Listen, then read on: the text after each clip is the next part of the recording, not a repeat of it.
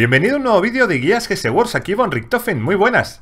Hoy os traemos nuestra guía sobre esta lanza Steampunk, la última novedad que nos trae Fortnite Salva del Mundo en su parche 9.0 que como sabéis estaba pendiente de recibirse desde hace dos o tres semanas. Por 1680 monedas de oro puedes hacerte con la que probablemente va a ser la última arma del set de armas Steampunk, que como estás viendo se trata de una lanza con alguna característica especial, fijaos esa probabilidad de golpe crítico del 20% y con un ataque fuerte que evidentemente tenemos que probar para ver qué tal se comporta. De eso va este vídeo, si te interesa ver cómo vamos desbloqueando las ventajas, analizar cuáles puedan ser el mejor conjunto de ventajas con el que adornar este esquema y sacarle todo el partido posible. También nos lo llevaremos como es habitual a una misión para ver cómo se comporta y al final del vídeo te daré una nota y te daré mi recomendación sobre este arma como hacemos siempre en nuestra infografía final, que recuerda, siempre subimos a nuestros canales de Twitter e Instagram. Ya lo sabes, si te interesa este contenido, quédate con nosotros. Aquí tenemos el esquema de esta brocheta de vapor, como ves la descripción nos dice que se trata de una lanza que emplea ataques con impulso a larga distancia con una velocidad de ataque ligeramente inferior a la media pero con un daño en impacto elevados. Y además el ataque fuerte lo describe de la siguiente forma, dice que tiene un ataque fuerte de dos golpes que inflige daño y empujes significativos. Muy bien, pues antes de verla en el campo de batalla, a ver cómo se comporta realmente con estas características, vamos a ir subiéndola de nivel y desbloqueando las ventajas con las que nos viene el esquema cuando lo compramos en la tienda. Como ves, en el nivel 5 incremento del 45% de daño crítico, en el nivel 10 un más 30% de impacto nada menos, vamos a evolucionar el arma ahora mismo tenemos en el nivel 15, como siempre, dos ventajas que se desbloquean. Elemento físico, con un 32% de incremento en el daño y un más 20% de índice de crítico. Y tenemos también un incremento del 80% de eficiencia de energía en ataques fuertes en el nivel 20. Así que confirmamos la subida de nivel y vamos ya directamente a evolucionarla para ir subiendo hasta el nivel 25 donde se desbloquea su habilidad específica, única o la ventaja que no se puede cambiar. Al eliminar a un enemigo se crea una nube de vapor que causa daño y solo se puede desencadenar este efecto una vez cada 5 segundos. Vamos a dejar como hacemos siempre, ya sabéis que es habitual en la política del canal dejarla a nivel 30 con ese poder nominal de 82 y con estas características nos las podemos llevar al campo de batalla a ver cómo se comporta. Lo que sí vamos a hacer como siempre es echar un vistacito a las ventajas para ver cuál puede ser la mejor combinación y con ello también hacer alguna prueba. Por ejemplo, en la primera ventaja de incremento de daño crítico no está mal, a mí me gusta bastante. Podríamos cambiar a índice de crítico, daño, velocidad de ataque o vampirismo. Lo dejamos en la cabeza y decimos la segunda, ese más 30% de impacto podríamos cambiarlo a daño, a velocidad de movimiento o a incrementar nuestra armadura. El elemento físico puede cambiarse como todas las armas steampunk, como ves, por cualquiera de los otros tipos de daño. En la cuarta ventaja, ese índice de crítico podría cambiarse a daño, impacto eficiencia energía en ataques fuertes, algo que nos podría interesar si vamos a spamear, utilizar muchísimo ataque fuerte del arma, pero evidentemente ahora mismo no podemos saberlo sin haberla probado antes. Y la quinta ventaja, esa eficiencia de energía en ataques fuertes, podríamos cambiarlo por índice de crítico, daño crítico, daño y velocidad de ataque. Así que probablemente si vamos a una configuración de daños críticos. Fijaos, tenemos aquí índice de crítico, daño crítico. La segunda podría cambiarse por impacto y aquí podríamos cambiar incluso también por más daño crítico. Así que yo creo que nos va a interesar bastante una configuración con doble daño crítico para sacarle todo el partido posible. Podríamos ir, por ejemplo, y lo vamos a probar así en nuestra prueba daño crítico. La vamos a cambiar. ¿Vale? Con lo cual estamos incrementando daño crítico aquí, daño crítico aquí, que también lo vamos a subir un poquito, al menos si tengo recursos suficientes para subirlo hasta nivel azul. Tenemos ahí, como ves ya, un 90 y un 90 de daño crítico, no está mal, nos está dejando esta, esta característica aquí bastante interesante. Tenemos aquí el índice de crítico, nos está subiendo un poquito y tenemos aquí el impacto que lo vamos a cambiar por daño base para incrementar más la multiplicación y por tanto el DPS general en esa multiplicación de daño por el probabilidad de crítico por el daño crítico como es habitual y lo subimos también a nivel azul. Así que de momento vamos a dejarlo así, a ver qué tal se comporta el arma en nivel azul como siempre y en todo caso será esta lógicamente la configuración que os trasladaré a la infografía, a salvo de que me voy a ahorrar de momento los materiales para cambiar el elemento físico de daño, de acuerdo a daño energía probablemente sería una buena opción para tener una eh, lanza que te sirva para todo tipo de cáscaras elementales. Bueno, vamos a elegir un escuadrón y vamos a ir a probarlo al campo de batalla.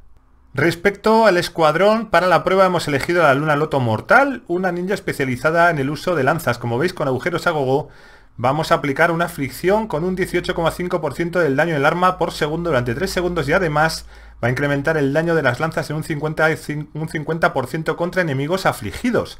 Vamos a emplear como ventaja de equipo el toque de la muerte, ya lo conocéis, la postura sombría va a regenerar un 2,7% del escudo por cada ninja que vayamos a poner, que en este caso tengo un por 4 porque hemos puesto a nuestro John C superviviente con esa supervivencia que nos permitirá ir recuperando vida cada vez que consigamos bajas. Al mismo tiempo, cada vez que consigamos bajas con esta carga rápida vamos a incrementar también nuestra energía, vamos a ir recuperando energía por cada una de las eliminaciones con armas cuerpo a cuerpo y luego para terminar vamos a añadir lógicamente a este otro loto mortal con furia puntiaguda incrementando la eficiencia de ataques fuertes con lanzas en un 65% para ver cómo podemos utilizar ese ataque fuerte de la lanza. También con golpes corrosivos vamos a conseguir una inmovilización del 30% con nuestras armas cuerpo a cuerpo, con nuestra lanza, pero también una aflicción todavía mayor, con un 37% de daño cada segundo durante 3 segundos. Y para mejorar todavía más la ah, inmovilización y la aflicción, sobre todo la aflicción que conseguimos con agujeros a gogo y con los golpes corrosivos, vamos a poner a nuestro híbrido que con fuego del dragón vamos a incrementar la duración de la aflicción nada que en un 34%. Así que, ya sabéis, un especialista en lanzas y en daño de aflicción. Vamos a ver qué tal se comporta, por tanto, esta brocheta de vapor. Muy bien, aquí estamos con nuestra filo y nuestra lanza de vapor, esta brocheta de vapor, como veis, el diseño absolutamente en la línea de otras lanzas steampunk. Vamos a ver también un momento en la mochila cuál es el DPS del arma, 25.083 con mi poder de ataque de 3.251, ya sabéis, una configuración de doble crítico en nivel azul y en estadísticas un 41,5% de probabilidad de obtener golpes críticos con un 230% de daño incrementado cada vez que conseguimos un crítico. Fijaos, ese es el sonido y la cadencia de ataque del arma, nada del otro mundo, es verdad que no es muy rápida. Vamos a probar otra vez aquí para que veáis un poco cuál es la cadencia de, de movimiento, la velocidad de ataque del arma, ahí la tenéis. Y vamos a ver ese ataque fuerte Fijaos, nos decía que era un golpe en dos tiempos, efectivamente. Mirad, primero y segundo, ¿eh? Así que está claro que es un arma que está muy orientada a los ataques frontales, ¿vale? Así que vamos a buscar algún enemigo y vamos a ver, por tanto, cómo podemos sacarle partido a esta lanza. Vamos a ver, vamos a acercarnos a este campamento que tenemos por aquí y vamos a ver si somos capaces, bueno, mucho cuidado porque tenemos dos campamentos, así que vamos a intentar no sacar los dos a la vez, no activar los dos campamentos a la vez porque puede ser, efectivamente, puede ser demasiado. Vamos a hacer un golpe, un golpe doble, ahí lo tenemos. Perfecto, nos están dando por todas partes porque tenemos además ahí, como veis, una doble... ¡Oh! El empuje a este ha sido muy, muy bueno, ¿eh? Fijaos el empuje. Problema es que vamos a activar, lógicamente, el segundo campamento y lo vamos a tener muy chungo. Pero bueno, en todo caso, me ha gustado muchísimo, como habéis visto. Me voy a quitar un poquito de en medio porque al activarse los campamentos la cosa se pone muy, muy difícil. Pero me ha gustado mucho, como habéis visto, la forma en la que nos hemos quitado de en medio a esos nuevos blaster, ¿de acuerdo? Gracias precisamente al ataque fuerte. Me ha gustado mucho más de lo que yo esperaba, ¿eh? Cuidado, que me ha parecido realmente interesante. Vamos a quitarnos de en medio todos los pequeñitos que podamos por esta parte. Me gusta, evidentemente, el hecho de posicionarnos en postura sombría nos va a ayudar muchísimo. Y tenemos por aquí nuestro primer paquetito y hemos conseguido salir. Como veis, estamos en una misión de nivel 82. Nuestra ninja especialista en guadañas también está a nivel 82. Y los cáscaras son de nivel 82, así que con esto podemos hacernos un poquito idea. Vale, aquí tenemos otra vez, vamos a ver otra vez, ataque fuerte. Fijaos, ¿eh? El ataque fuerte está funcionando realmente bien, ¿eh? Vamos a utilizar otra vez el ataque fuerte. Fijaos. Me gusta muchísimo, otra vez ataque fuerte. Y si encima somos capaces de sacar algún golpe crítico, como veis, funciona, pero que realmente muy bien. Estamos combinando, como sabéis, las ventajas que me permiten... Fijaos el doble empuje a los dos cáscaras, ¿eh? Había un doble empuje. Me gusta mucho cómo está funcionando el, la build. Fijaos que hemos salido idemnes, tanto de escudo como de vida, de todo el lío. Ha estado fenomenal. Y es verdad que la cadencia es un poquito lenta cuando hace falta, pero el golpe fuerte, lo voy a repetir ahora para que lo veáis bien, ha sido muy efectivo precisamente para cargarnos a los blaster. Así que bueno, en general la verdad es que es un arma que se ha comportado muy bien, con un suficiente nivel de daño, como habéis visto, como para quitarnos de en medio a toda esta morralla de cáscaras que teníamos en los dos campamentos y por tanto pues bastante satisfecho. Me gusta mucho este golpe, ¿de acuerdo? Evidentemente cuando eres capaz de obtener un crítico, como habéis visto antes, más que efectivo para quitarte a los monstruos de la bruma más peligrosos. Muy bien, pues después de haber visto cómo se comporta, vamos a pasar si queréis a la última parte del vídeo donde vamos a resumir todo esto en nuestra infografía, que como es habitual ya sabéis, luego subimos a nuestras cuentas de Twitter e Instagram y también al blog, cuya dirección tenéis en la descripción de este vídeo y vamos a darle una nota final. Hasta ahora.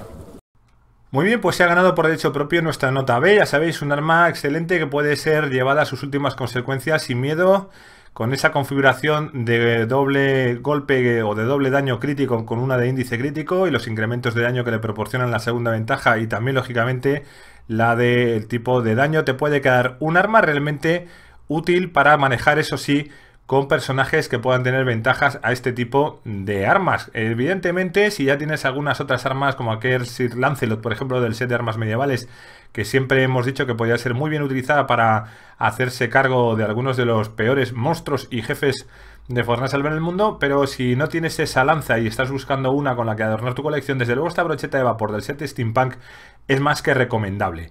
Desde luego sí que te voy a, te voy a aconsejar que trates de buscar estos filos, ¿de acuerdo? Estos dos personajes que van a, permitirte manejar con más soltura, por ejemplo, ese ataque fuerte, que se mejora en la eficiencia de los ataques fuertes, en combinación con la principal que has estado viendo, para poder obtener una, un mejor resultado ¿no? de la build. Pero bueno, en todo caso creo que es un arma bastante decente. Por 1680 monedas de oro puede estar muy bien. Evidentemente no llega a la nota A porque no es un arma que te voy a recomendar que utilices con cualquier clase de héroes, específicamente, desde luego, con eh, personajes especializados a armas de cuerpo a cuerpo. En todo caso, un arma, como te digo, interesante por 1680 monedas de oro, pero estaré encantado de que me contéis en los comentarios del vídeo que os ha parecido a vosotros y también que nos deis vuestros consejos para mejorar o cuáles serían vuestras ventajas recomendadas para que otras personas también puedan aprender.